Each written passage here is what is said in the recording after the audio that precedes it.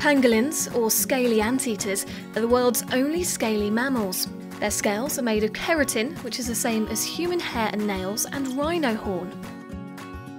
Pangolins have long, powerful claws that are perfect for ripping open ants' nests, and super long, sticky tongues to pick up ants and termites. When attacked, pangolins roll up in an impenetrable ball to protect themselves. However, this doesn't help them defend against poachers who can just pick them up. There are eight species of pangolin in total, four of which occur in Asia and four in Africa. All of them are threatened with extinction.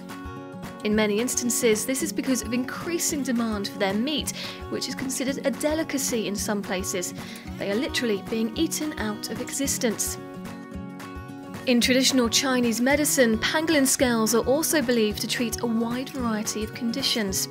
Pangolins are now thought to be the world's most illegally trafficked wild mammal, with more than a million estimated to have been snatched from the wild in the past decade.